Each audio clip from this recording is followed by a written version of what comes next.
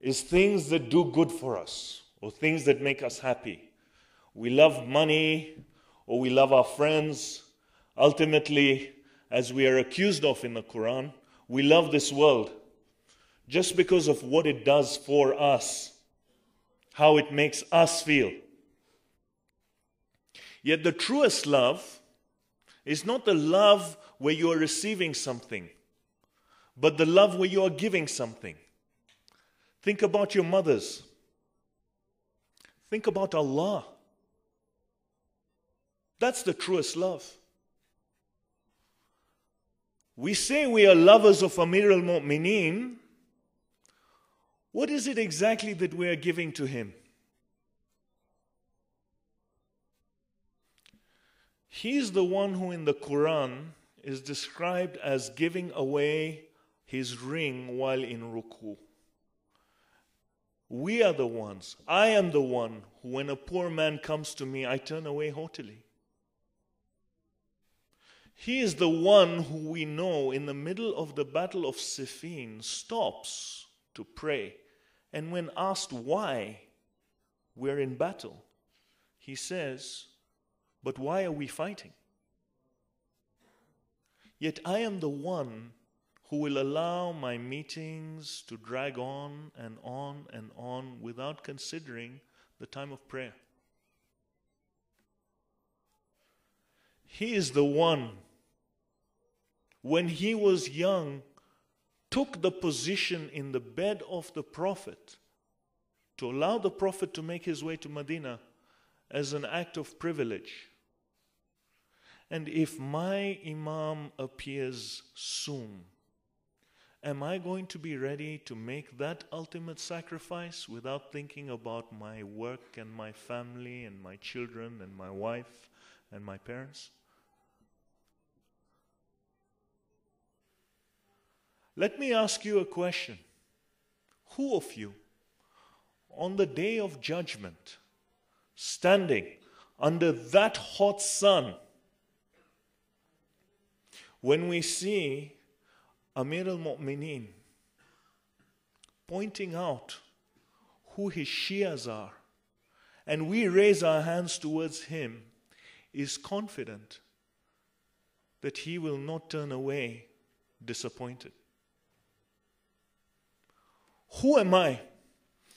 Who am I to say that I love Amir al Mu'mineen? Who am I that dares come here and stand and talk of the strength in the Prophet's right hand. How can one as insignificant as me dare to describe the strength of the vali? Within sin's dark shadow, where comes my right to talk of him who was born this night? This night. This night that gave the day its light. This night that gave the blind their sight this night that moved us from wrong to right and gave the lowest the highest height and made the weak win their fight and left shaitan screaming with fright this night. For in this night, in the Lord's own house, he gave rise to the one who would fulfill his vows. For had he not declared the defeat of lies on the Kaaba's floor? A baby boy opens his eyes. From his mother's arms, his hands outstretched, his first destination, the prophet's chest, where the Lord who commands by saying, Be, commanded he be named Ali.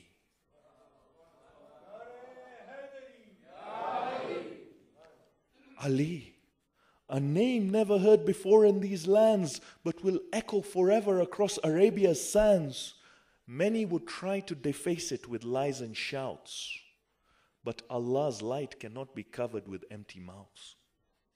Ali, brought up under Muhammad's care, whose prophethood as a boy he would declare, quiet dignity in the company of cackling men, Allah sealed his position there and then. Ali, who when those cackles became threats, lay in the Prophet's bed yearning for death, Three Fatimas were veiled by the arc of his blade, Quraysh's deadly introduction to him when the first hijrah was made. Ali, whose sweet blade got to know many more, at least one had been kissed from behind every Meccan door. On the canvas of Badr and Khandak and Hunain, enemy blood was the ink for paintings of their pain. Ali, the Prophet has said he is like no other. As Harun was to Musa, he is my brother. I am the city of knowledge, and he is the gate. Have I asked for anything but love for my Ahlul Bayt? Ali, the only worthy of Fatima's hand, no more perfect a union in all of God's land. Our greatest blessing from the Lady of Light, 11 shining beacons on the Sirat that is right. Ali, Muhammad held his hand high for all to see. Whoever follows him is one who follows me. But envy and greed turned hearts into stone. The Prophet's silent head in his lap, Ali sat alone. Ali, 25 years with a bone in his throat and a stone in his eye. His wife's broken rib made even him cry. And, to, and when to him the caliphate was offered with pleas, but for duty, appealed less than a goat's sneeze. Ali, now caliph, now Islam will blossom and grow. Justice will stand, spirituality will flow.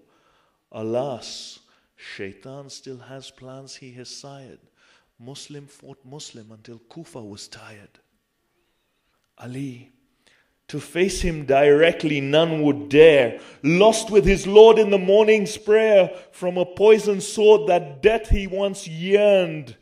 By the Lord of the Kaaba, my victory is earned. Can enough ever be said of Ali?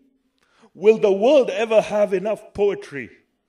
The subtle words of his prayers freeze the most imprisoned soul. The sword of his eloquence cuts the veil hiding our goal.